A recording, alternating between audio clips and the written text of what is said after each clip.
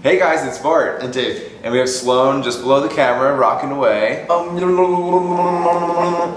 And you can see behind us, there hasn't really been much progress on the hanging of the frames. Yeah, doing anything for our apartment. No, but we have an excuse. Dave went back to work this week, so our schedule's a bit in flux. So, how was your week back? Uh, it was good in certain respects. It was nice to see my coworkers and you know do like my job. It's intellectually stimulating, but I was missing Sloansy, and uh, you know we're still trying to figure out a routine so we know you know who's feeding her in the mornings, who's sort of racing back from work in the afternoons to replace our nanny. Um, so yeah, we're still working through it. One of the questions we get all the time is when did you guys decide you wanted to become parents? And the truth was, it wasn't this seismic moment in time, this thunderclap when all of a sudden we were like, we must have babies. Um, but it sort of gradually, You're such a loser. but it gradually ramped up, you know, this desire to start a family over the course of our relationship. And what was awesome is that when we, you know, got more serious, we kind of right away knew that uh, we had these options available to us, adoption and surrogacy. And in doing research, we also kind of realized just how lucky we were because a vast part of the world just doesn't have those options available to them in their, in their own country. So in our research, we started looking online to see what we could find, and we found this great map on Wikipedia that shows all the different countries in the world and what they allow or don't allow when it comes to surrogacy. So you see four different colors in front of you, and the dark blue indicates that a country will allow commercial surrogacy. And that's just like the United States, means that you're able to pay a surrogate for carrying your baby. Then goes light blue, countries like Canada, where Dave's from, which is altruistic surrogacy that is allowed.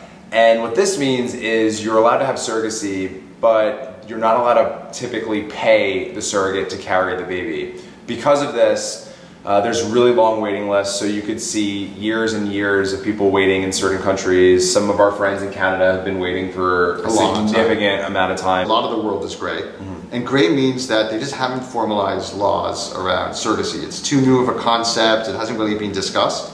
And so on one hand, you know, it could seem almost tempting because there's all these countries where there aren't formal laws to sort of guide surrogacy one way or the other. But just going through the process, kind of knowing how many, you know, how many things could potentially go awry and how complex it is, you really do want a really solid legal infrastructure that's built around your surrogacy journey. So going back to the blues, sorry, Sloan is actually hiccuping right below us right now.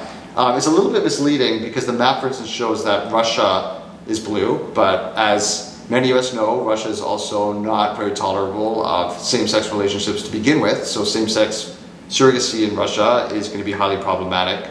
And then also includes countries like India, where surrogacy is legal for Indian citizens who are opposite sex. So same sex Indians or foreign nationals trying to have surrogacy in India is not allowed.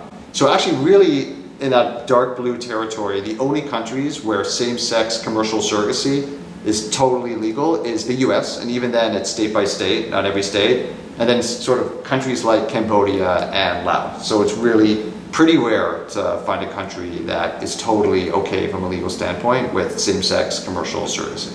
So another interesting thing is if you look at the map, some of the places that actually don't allow surrogacy are some of the most progressive for LGBT rights.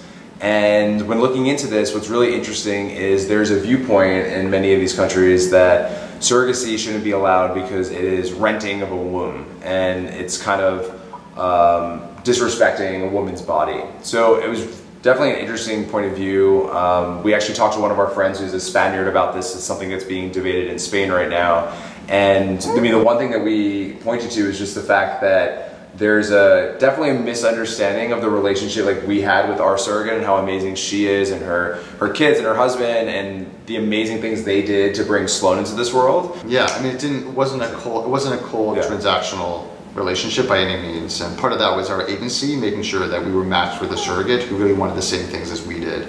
So when we look at this map, we're actually pretty optimistic, and it's because you know so many countries are trying to figure out their stance on surrogacy. The laws are changing so so fast, um, and yet you know we fundamentally believe that you know surrogacy for all, that families do come in all shapes and sizes. So the more examples that so we can put out there of these beautiful surrogacy created families and really the loving relationships that intended parents quite often develop with their surrogates is just going to go a long way in influencing global lawmakers. So thank you very much and we will see you next week. Bye, guys. Bye.